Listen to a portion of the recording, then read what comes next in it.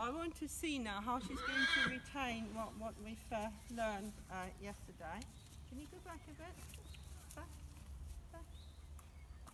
Good, yes, good, very good, very good, very good. So that will be interesting. Can you? Walk.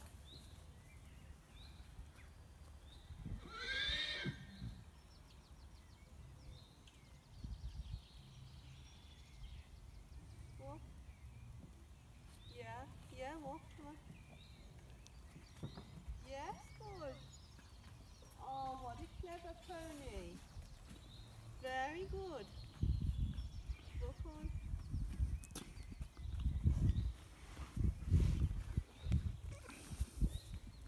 Very good pony.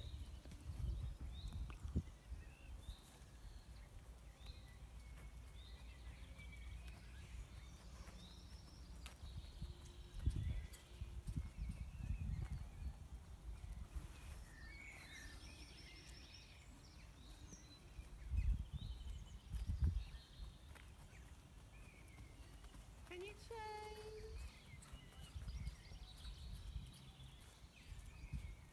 No, I don't want you to come in. Yes, good. Very nice, clever girl. Keep going.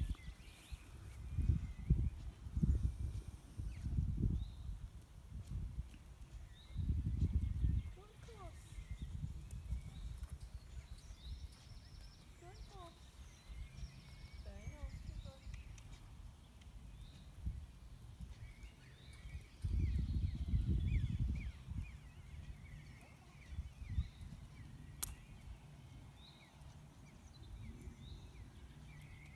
Whoa, stop.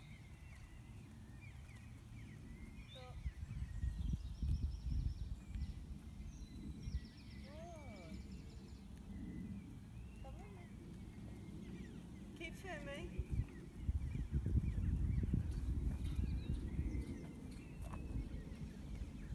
One of the problems that we have is I would like her to learn to stop while she's on the circle.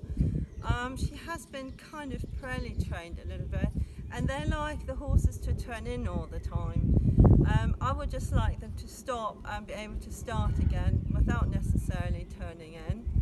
And um, I, I will see if I can actually teach her today the um, uh, hold walk transitions and then maybe if that goes well also walk trot transitions.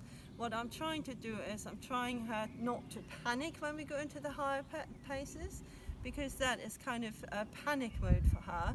And the other problem that, that they had was that she has learned that if she turns her head away and takes the, uh, the rope to the outside of her, she can actually pull away from you. So I always have to be a bit careful that I don't give her the chance to, to pull pull away from me. She, she has escaped many times. She's become a bit of an expert at it.